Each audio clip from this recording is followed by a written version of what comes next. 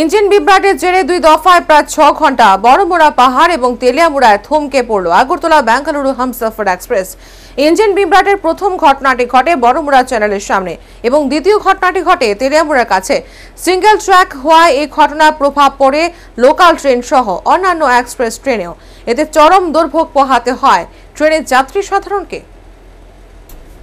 মঙ্গলবার সকালে আগরতলা থেকে সঠিক সময়ে যাত্রা শুরু করে আগরতলা বেঙ্গালুরু আপ হামসফর এক্সপ্রেস। কিন্তু বড়মুড়া চ্যানেলের কাছে পৌঁছতেই দেখা দেয় ইঞ্জিন বিভ্রাট। বড়মুড়ার জঙ্গলে শুরু হয় যাত্রী দুর্ভোগ। প্রায় চার ঘণ্টা বাদে তেলিয়ামুড়া স্টেশন থেকে অপর একটি ইঞ্জিন ঘটনাস্থলে যায়।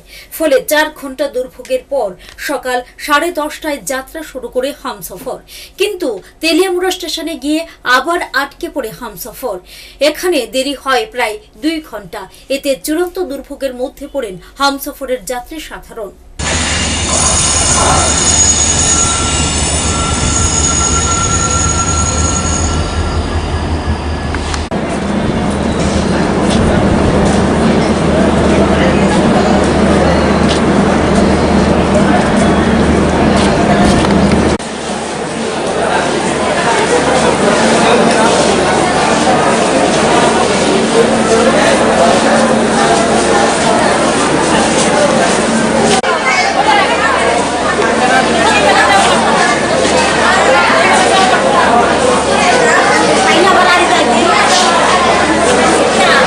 পরে সাড়ে বারোটা নাগাদ তেলিয়ামুড়া থেকে যাত্রা শুরু করে হামসফর।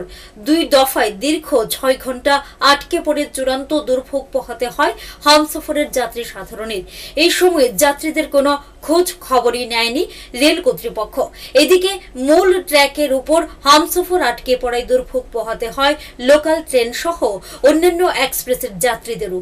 লোকাল ট্রেনের যাত্রীরা সঠিক সময়ে গন্তব্যস্থলে পৌঁছতে পারেনি। যাত্রী সাধারণের অভিযোগ, রেল দপ্তরের উদাসীনতায় তাদের এই দুর্ভোগ পোহাতে হয়েছে। ব্যুরো রিপোর্ট হাল্লা বল